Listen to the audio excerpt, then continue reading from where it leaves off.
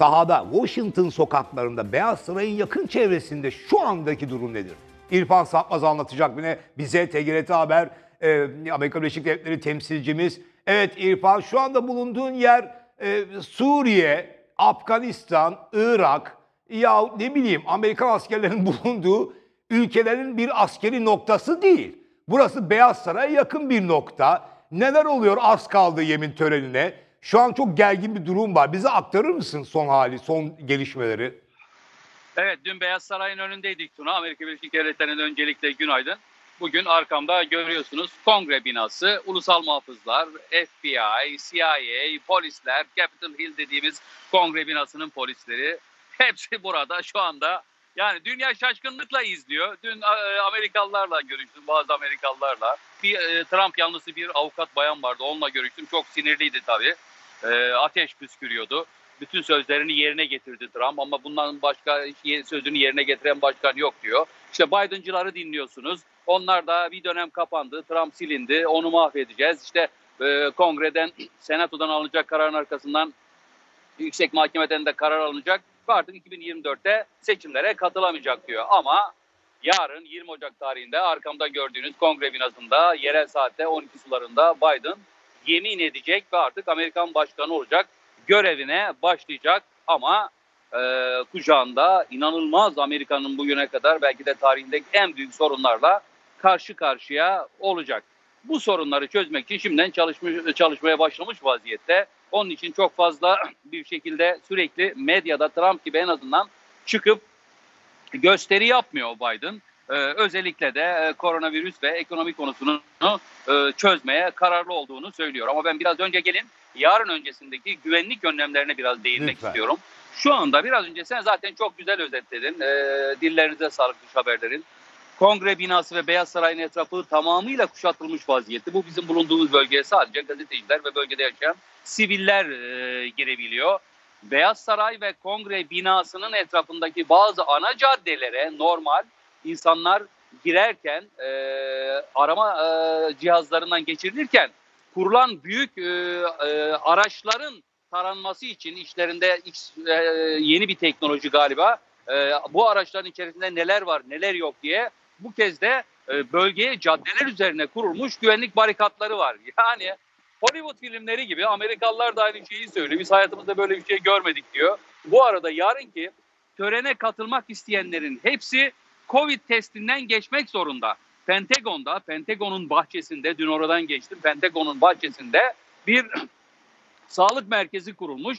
Törene katılacak olanların listeleri, kimlik kartları gerekli e, güvenlik kontrollerinden geçirdikten sonra oraya bildiriliyor. Oraya gidiyorlar ve orada e, koronavirüs testinden geçiyorlar. Testi pozitif çıkanlar törene katılamayacak. Tabii e, şu anda Washington DC'de Amerikalılar biraz da heyecanı seviyorlar. Ancak gördüğünüz gibi biz 6 Ocak tarihinde TGRT Haber olarak kongre binasının kapısına kadar göstericilerle birlikte girip oradan yayınlar yapmıştık. Fakat Tuna etraf tamamıyla tel örgülerle çevrilmiş vaziyette. Tel örgülerin içerisinde zaten kimse bırakılmıyor. Onun dışında gazeteciler, televizyoncular bizim gibi buraya gelerek yayın yapıyorlar. Evet. Peki bundan sonraki süreçte Joe Biden'ın masasında neler olacak? En azından ilk 100 günde Amerikan medyasında, Amerikan televizyonlarında bunlar işlenmeye Evet. başlandı. Artık Trump'a geldi geçti. Bu rüzgar bitti gözüyle bakılıyor. Evet. Çünkü sen de biraz önce anlattın. Yarın e, Trump e, sessiz sedasız Evet. işte kısa bir e, ayrılık töreniyle birlikte ayrılacak. Şu Bu arada sorunun- e, Ee, sevgili İrfan şu sorunun cevabını arıyoruz hepimiz. Senden çok net ve kısa bir cevap almak e, istiyorum. Amerika'da her şey artık eskisi gibi olur mu sence? Hayır, hayır. Evet, Hiçbir çok- şey eskisi gibi Evet, evet. olmayacak. Sen zaten özetledin. Hiçbir şey eskisi gibi olmayacak.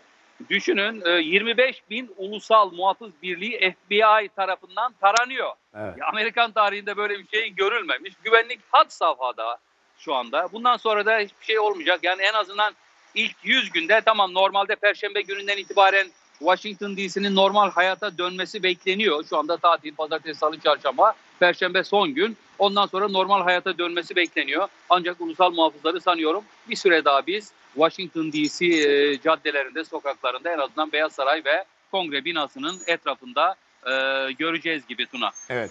Şimdi e, e, az kaldı yemin törenine. Biz beraber uzunca bir e, so- saatler beraber olacağız. E, yarın işte Türkiye saati 20 işte önce konserler var. Jennifer Lopez var, Tom Hanks var, Lady Gaga var. E, Lady Gaga marşlı okuyacak, seslendirecek. Tom Hanks sunuculuk yapacak. Jennifer Lopez bir performans sergileyecek. Zaten Hollywood yıldızları yahut pop yıldızları Amerika'da çoğu Biden'ı destekliyor. Trump'tan nefret ediyorlardı. Yani e, e, koşa koşa gelmişlerdir herhalde etkinliğe diye düşünüyorum. E, o yüzden hani yarın uzunca böyle e, dakikalar, saatlerde e, seninle birlikte Amerika'nın nabzını TGRT Haber ekranlarında tutacağız. Çok çok teşekkür ediyorum değerli katkılarından Kolay ötürü. Kolaylıklar diliyorum. Bu arada gözümüz, kulağımız sende tabii ki Amerika'da. Çünkü her şey olabilir. Yani her şey olabilir.